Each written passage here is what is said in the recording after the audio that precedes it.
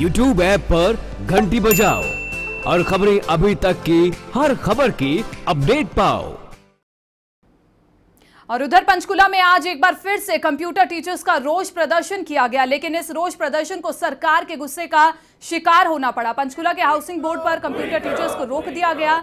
जिसके बाद computer teachers ने बैरिकेडिंग तोड़ने की कोशिश की लेकिन पुलिस प्रशासन की ओर से प्रदर्शनकारियों पर वॉर कैनन किया गया जिसमें कई प्रदर्शनकारी घायल भी हुए हैं। तो आपको बता दें कि जो कंप्यूटर टीचर्स हैं लगातार हड़ताल पर है। शिक्षा विभाग निदेशक के साथ इनकी बैठक हुई। बैठक बे, बेनतीजा रही।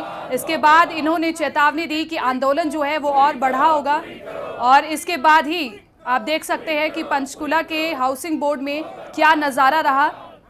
यहाँ पर पुलिस रोकती हुई नज़र आई जितने भी ये टीचर्स हैं। तो लगातार अपनी मांगों को लेकर ये प्रदर्शन कर रहे हैं। इससे पहले भी दिल्ली के जंतर मंतर पर ये प्रदर्शन कर चुके हैं। तीन तस्वीरें आपको दिखा रहे हैं, जहाँ पर मांगों को लेकर लगातार प्रदर्शन जारी है और इस प्रदर्शन को कम करने के लिए, रोकने के लिए इन्हें वाटर कैनन से वार किया जा रहा है और इस वाटर कैनन के वार में प्रदर्शनकारी घायल भी हुए हैं।